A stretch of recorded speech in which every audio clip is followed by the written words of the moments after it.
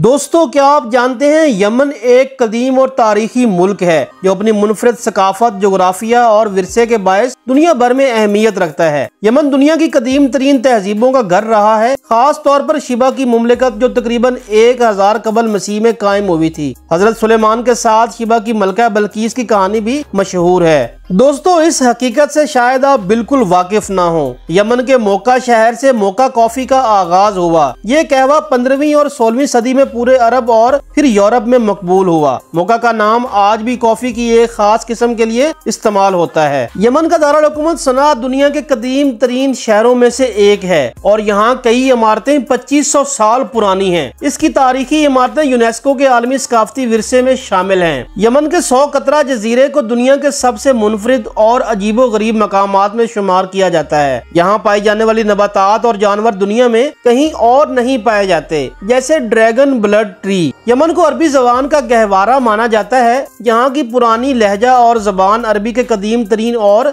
असली लहजात में से हैं। यमन के लोग अपनी मुनफरद तर्ज तामीर के लिए मशहूर हैं। यमनी मकानात खास तौर पर सना और शबाम में बनाए जाने वाले मकानात मखसूस आर्किटेक्चर के हामिल होते हैं, जिन्हें मट्टी और पत्थर से बनाया जाता है यमन को अरब का खुशहाल भी कहा जाता था, क्योंकि ये मुल्क कदीम जमाने में एक अहम तजारती मरकज था और यहाँ से बखोर और मसाले दूसरे ममालिक तक पहुँचते थे। यमन का शहद दुनिया भर में मशहूर है। खास तौर पर सदरी शहद, जिसे दुनिया का बेहतरीन शहद माना जाता है। ये अपनी तबी खसूसियात की वजह से भी मशहूर है। यमन के शहर शबाम को दुनिया का पहला अमूदी शहर या सहरा का मैन हैटन कहा जाता है। यहाँ मौजूद सोलहवीं सदी की मट्टी से बनी इमारतें ग्यारह मंजिला तक बुलंद हैं, जो 500 साल से ज़्यादा पुरानी हैं। सना सतह समंदर से तकरीबन पचहत्तर सौ फीट की बुलंदी पर वाक़ है। जो दुनिया के सबसे ऊँचे दारकूमतों में से एक है। यमन में साहिल पहाड़ सहरा और जजीरे सब एक ही मुल्क में पाए जाते हैं। कुछ महक्कीन का मानना है की कदीम इंसान सबसे पहले